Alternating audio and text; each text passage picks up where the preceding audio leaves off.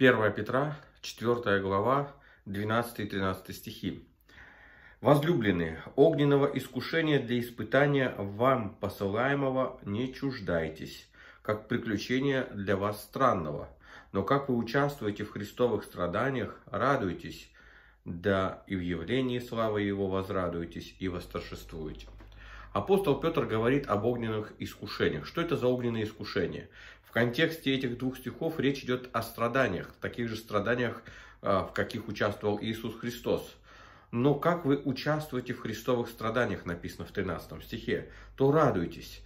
Петр называет вот этим огненными искушением те испытания, которые к нам приходят для того, чтобы испытать нашу веру. Жизнь христианина сложна, и в, в нее приходят испытания, в нее приходят различные искушения. И когда они приходят, мы не должны их чуждаться или удивляться, а почему, а что такое происходит.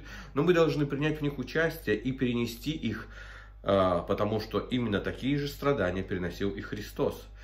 И как Христос прославился, так и мы прославимся и возрадуемся и восторжествуем вместе со Христом, когда пройдем те испытания, которые приходят в нашу жизнь. Да благословит нас Господь.